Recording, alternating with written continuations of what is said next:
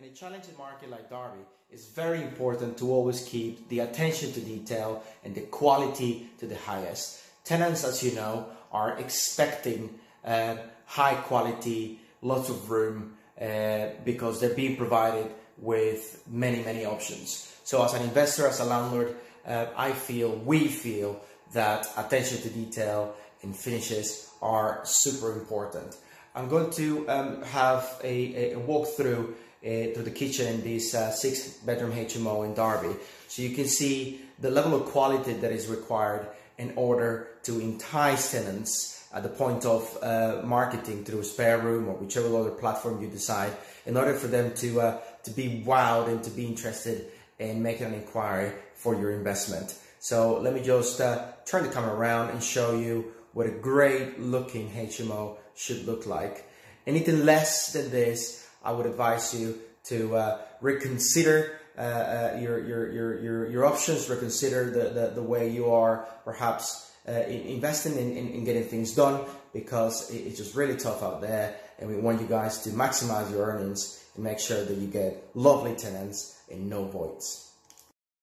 Okay, so every building of course will have uh, restrictions, uh, whether you're going to be able to, to get a living room in uh, however many rooms you, th you think that the number is going to actually uh, make sense financially. In this particular house, a six bedroom HMO in Derby, um, our planners thought long and hard about how to provide tenants with adequate uh, um, places to, to gather, to eat, and we come up with this uh, um, layout that we feel very strongly about.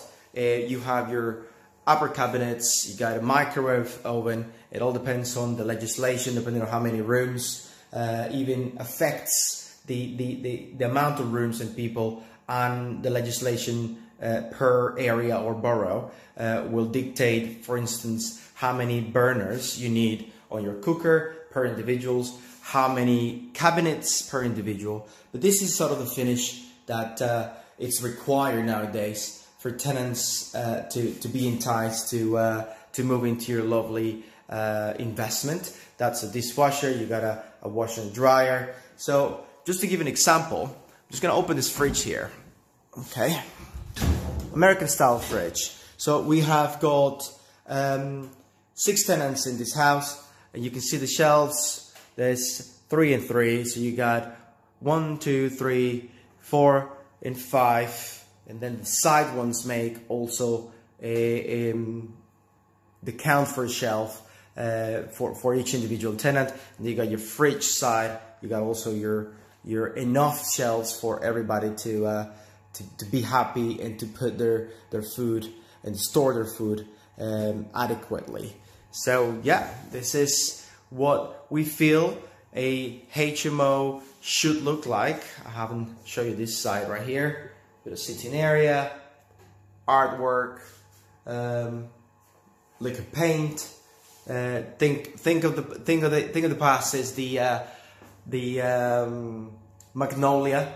Uh, never ever ever use magnolia. Uh, try to try to uh, think outside the box and, and sort of uh, choose a, a, color scheme that will be um, incentive, incentivize the tenants to, to, to want to go and, and live in your property.